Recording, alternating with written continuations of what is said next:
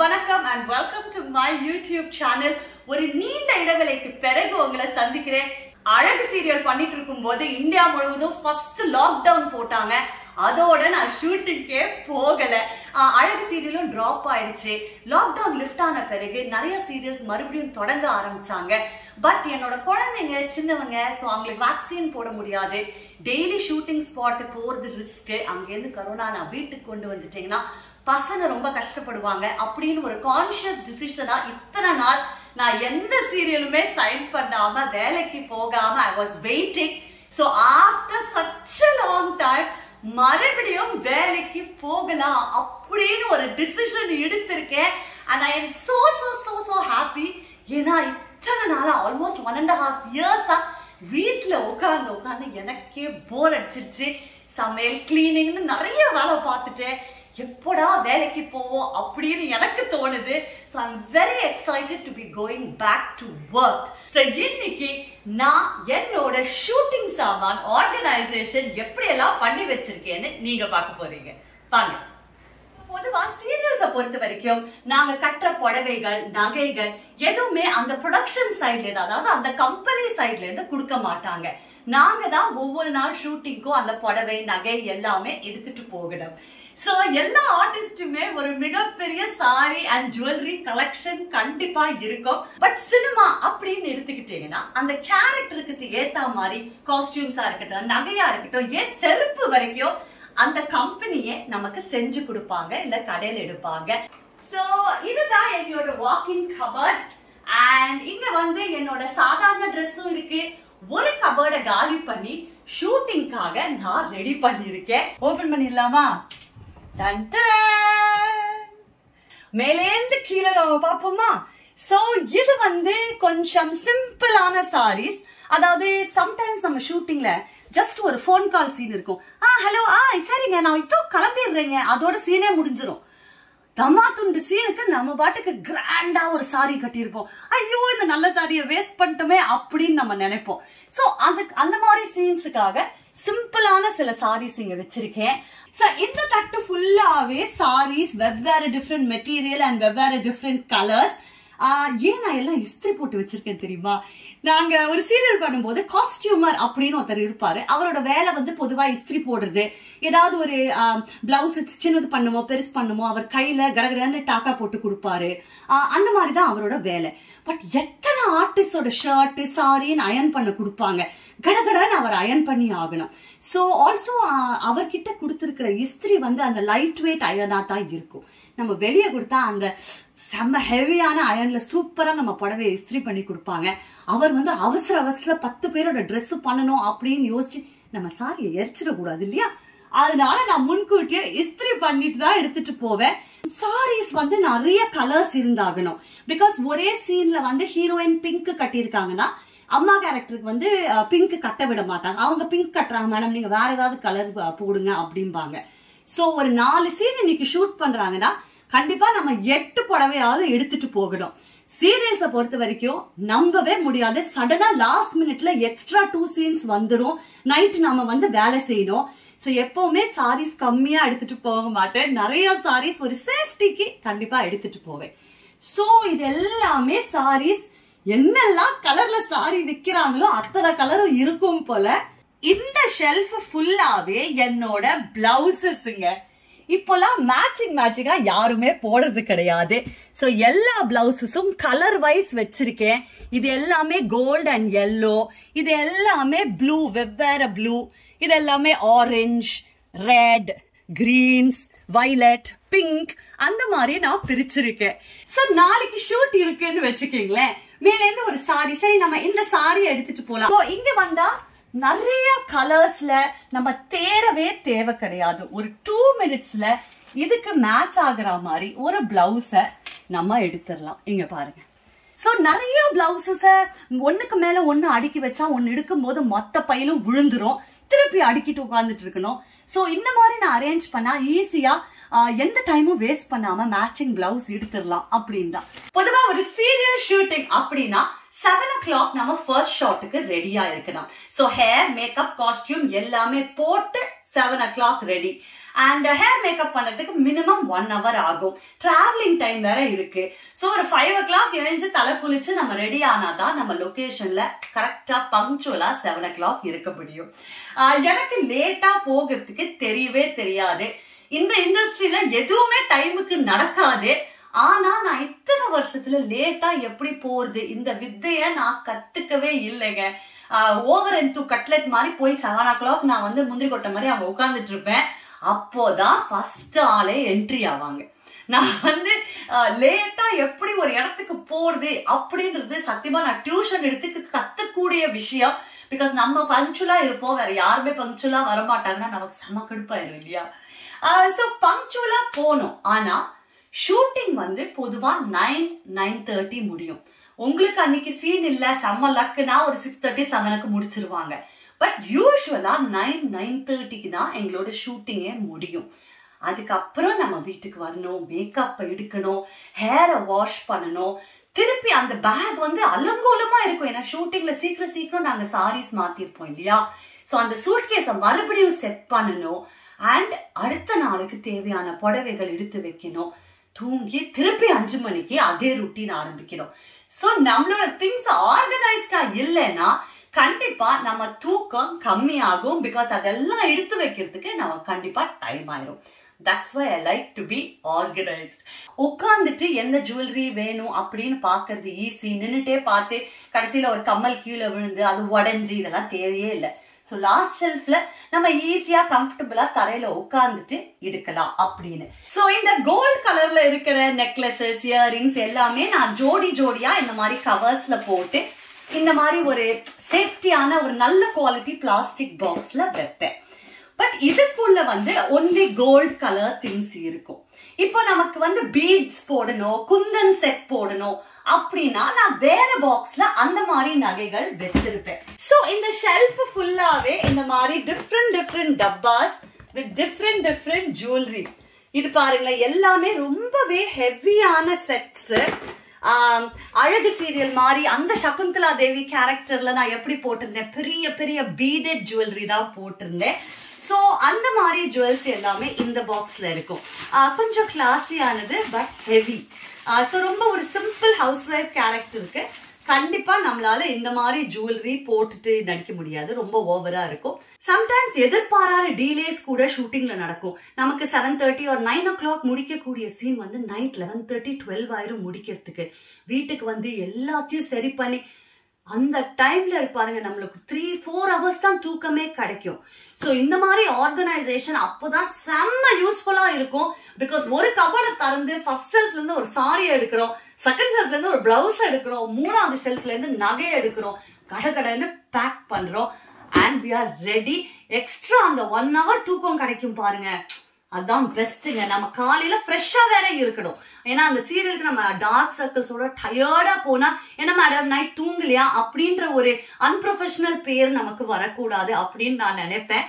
So that's why I organise இவ்வளோ விஷயம் இருக்கு. அண்ட் இந்த தட்டில் நீங்க வந்து எல்லாமே ஜுவல்லரி பேங்கிள்ஸ் ரிங்ஸ் இயர்ரிங்ஸ் எல்லாமே இப்படிதான் நான் வச்சிருக்கேன். அண்ட் இது வந்து ரொம்பவே முக்கியமான மேட்டர் என்னோட இன்னொரு வீடியோல நீங்க இந்த பாக்ஸ் பார்த்துருப்பீங்க. இது வந்து என்னோட மேக்கப் பாக்ஸ் ஸோ என்னோட ஷூட்டிங் லொக்கேஷனுக்கு நான் எடுத்துட்டு போற மேக்கப் பாக்ஸ் இது வந்து பொதுவாக நல்லா ஆர்கனைஸ்டாக தான் வைப்பேன். பிகாஸ் மேக்கப்பை பொறுத்த வரைக்கும் நம்ம அவசர அவசரமாக போட்டால் திங்ஸ் கீழே விழும் உடையும். அண்ட் நம்ம மேக்கப் வந்து ஒரு ஆர்ட் ஸோ நம்ம வந்து ஒரு ஆர்ட் ஒரு ஓவியம் வரையும் போது கொஞ்சம் பொறுமையாக தான் வரையணும். அப்பதான் நல்லா வரும். அதே மாதிரி மேக்கப் வந்து அவ்வளோ அவசரப்பட்டு போட்டால் கண்டிப்பாக நல்லா இருக்காது. ஸோ நம்ம எவ்வளோக்கு அளவு மேக்கப் திங்ஸ் ஆர்கனைஸ்டாக வைக்கணுமோ அவ்வளோ அழகாக மேக்கப்பும் போட இருக்கும். ஸோ நமக்கு தேவையான மேக்கப் எல்லாமே இந்த பாக்ஸில் வச்சிருக்கேன். இந்த ஜுவல்லரி ஷெல்ஃப் இருக்கு இல்லையா? ஒரு காலியான டப்பா கண்டிப்பாக நான் வைப்பேன். ஏன்னு கேட்டீங்கன்னா இன்னைக்கு நான் ஒரு ஷூட்டிங்க்கு போறேன். அன்னைக்கு நாலு சீன் பண்றோம். அந்த நாலு சாரிக்கு நான் போட்ட ஜுவல்ஸ தனித்தனியா அந்த பிளாஸ்டிக்ல போட்டு அந்த பாக்ஸ் காலியான பாக்ஸ்ல நான் வச்சுட்டு வருவேன். ஏன்னா நாளைக்கு ஃபோன் பண்ணி மேடம் அந்த சீன் இருந்துச்சு இல்லையா? ஹாஸ்பிட்டல் சீன் அந்த ஹாஸ்பிட்டல் சீன்ல ரெண்டு ஷாட் விட்டு போயிருச்சு. மறுபடியும் நம்ம எடுக்கணும். அதே காஸ்டியூம் கொண்டு வாங்க அப்படிம்பாங்க. சடனா நம்ம வந்து அன்னைக்கு என்ன சாரி போட்டோம் என்ன பொட்டு வச்சோம் என்ன நகை போட்டோம் எதுவுமே நமக்கு ஞாபகம் இருக்காது. கண்டினியூட்டி அப்படின்னு பேர் அதுக்கு. ஸோ வந்து இன்னைக்கு நம்ம நாலு சீன் நடிக்கிறோம்னா அந்த நாலு சாமான் நாலு செட் ஜுவல்லரி அதுக்குள்ள நான் வச்சிருந்த பொட்டு எல்லாமே அப்படியே அந்த கவர்ல வச்சு நான் அந்த காலியான டப்பால போட்டு வச்சிருவேன். ஸோ எனக்கு வந்து அது கண்டினியூட்டி ஏதாவது ஷார்ட் விட்டு போயிருச்சு அந்த மாதிரி ஒரு சுச்சுவேஷன்ல எடுக்கிறதுக்கு ஈஸியா இருக்கும். பிளஸ் இதெல்லாம் நம்ம ரீசெண்டா அந்த சீரியல்ல போட்டோம் அப்படின்னும் தெரியும். சோ நான் மறுபடியும் அதை வந்து ஒரு வாரத்திலயோ பத்து நாள்லயோ பை மிஸ்டேக் ரிப்பீட் பண்ணாம வேற நகை நான் ஷூட்டிங் எடுத்துட்டு போகவும் அது யூஸா இருக்கும். நான் இந்த மாதிரி லொட்டு லொஸ்கு விஷயம் கலெக்ஷன் பண்ணதுல பெரிய ஆளுங்க. இது என்ன தெரியுமா? பஞ்சாபி வெட்டிங்ஸ்ல அந்த குரூம் பெரிய இங்க டர்பன் கட்டுவாங்கல்ல அந்த டர்பன்ல இங்க வச்சு விடுறதுங்க. ரொம்ப அழகா இருக்கும். இது வந்து ப்ரூச் மாதிரி பின்னாடி பின் வச்சிருப்பாங்க. அது மட்டும் இல்ல மனதை திருடி விட்டாய் படத்துல கிளைமேக்ஸ்ல வந்து கல்யாண சீன் வரும் தெரியுமா? அதுல வந்து கௌசல்யா சொந்த நகை கொண்டு வந்திருந்தாங்க. அவ்வளோ அழகா அந்த தலசாமா ரொம்ப பியூட்டிஃபுல்லா அந்த ஒரிஜினல் டெம்பிள் ஜுவல்லரி மாதிரி அவங்க யூஸ் பண்ணியிருந்தாங்க. ஆனா அப்ப நம்ம எடுத்துட்டு போலாம் அப்படின்ற விஷயம்லாம் எனக்கு தெரியவே தெரியாது. கம்பெனில என்ன கொடுத்தாங்களோ நான் போட்டேன். கடைசியில அவங்க அவ்வளோ அழகான தலசாமான்லாம் வச்சிருந்தாங்க. ஆனா என்னோட ஜுவல்ஸ் பாத்தீங்கன்னா ரொம்ப பயங்கரமா இருக்கும். ரொம்ப அந்த ஒரு குவாலிட்டியே இல்லாத மாதிரி ரொம்ப சீப் கிளாஸான ஒரு நகை தலசாமான்லாம் வச்ச மாதிரி இருந்துச்சு. எனக்கு அவங்கள பார்க்கும்போது ஐயோ நம்மளும் ஏதாவது இந்த மாதிரி வாங்கிட்டு வந்திருக்கலாமேன்னு ரொம்ப ஃபீல் ஆயிட்டேன்.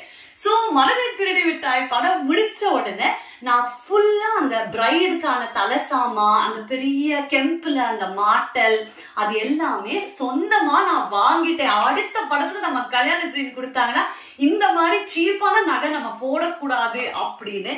பட் அஃப்கோர்ஸ் இனிமேல் நான் பிரைடா நடிக்க முடியாது. ஸோ அந்த தலசாமா மாட்டல் எல்லாம் இப்ப வேஸ்டா தான் இருக்கு. ஸோ அந்த மாட்டலுங்க பாருங்க. மாட்டலை மட்டும் தனியா எடுத்து வச்சிருக்கேன்.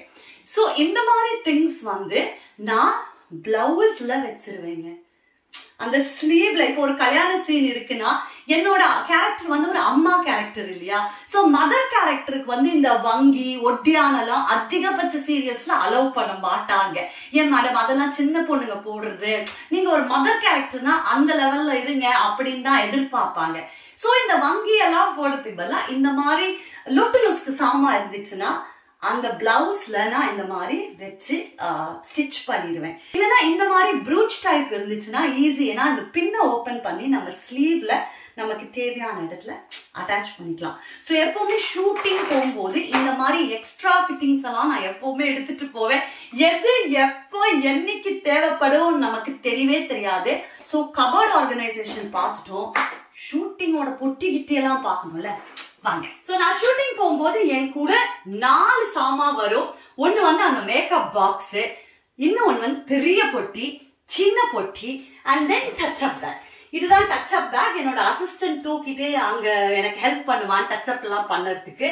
இந்த டச் அப் பேக்ல முக்கியமான விஷயம் இஸ் திஸ் ஃபேன் பிகாஸ் எனக்கு அப்படி வேர்க்குங்க. இதை ஷூட் பண்ணிட்டு இருக்கும்போது அப்படி வேர்க்குது.